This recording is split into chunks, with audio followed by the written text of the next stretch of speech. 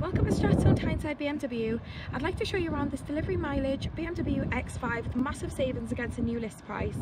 This particular one is the M Sport trim, the cars in the, black, the paint black sapphire, which is a metallic paint.